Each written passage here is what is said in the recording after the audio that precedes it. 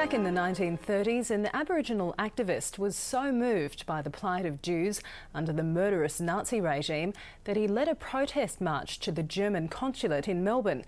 It was one of the first protests of its kind, and William Cooper also gathered a petition against such cruel persecution. Today in Jerusalem, he became the first Indigenous person to be honoured at the Yad Vashem Memorial.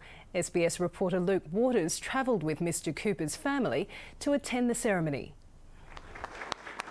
For William Cooper's grandson Alfred Turner, the long journey from Mooroopna, Victoria to Israel was taxing but worthwhile. Mr Turner and 15 members of the Cooper family watched on as Foreign Minister Kevin Rudd unveiled the plaque honouring William Cooper's stand against the Nazis. The family is very proud of uh, this uh, award honour of grandfather, and uh, yeah, we're really proud. William Cooper was a fierce advocate for Indigenous rights, establishing the Australian Aborigines League and campaigning relentlessly for land rights, citizenship, and parliamentary representation for his people. But that focus changed when he learned of Kristallnacht, or the Night of the Broken Glass. More than 100 Jews were killed, their homes destroyed, and synagogues burned in Europe.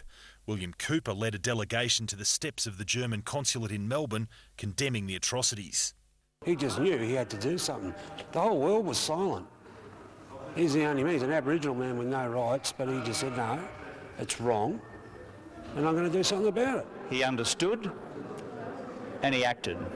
And that action has been recognised with the creation of an academic chair endorsed by political, business and religious leaders from Israel and Australia. The new academic chair will be based here at Yad Vashem Jerusalem, the world's preeminent Holocaust museum. It'll be the first professorship to research the resistance measures taken out against the Nazis throughout the Holocaust. But it has been overshadowed by, over the time by uh, a study of the perpetrators, and uh, which is understandable. But we want to bring uh, this uh, topic back into uh, the forefront of research. As a boy, Alfred Turner lived with William Cooper on the banks of the Murray River. He remembers his grandfather as a quiet, humble man who'd struggle with the attention and accolades of the presentation.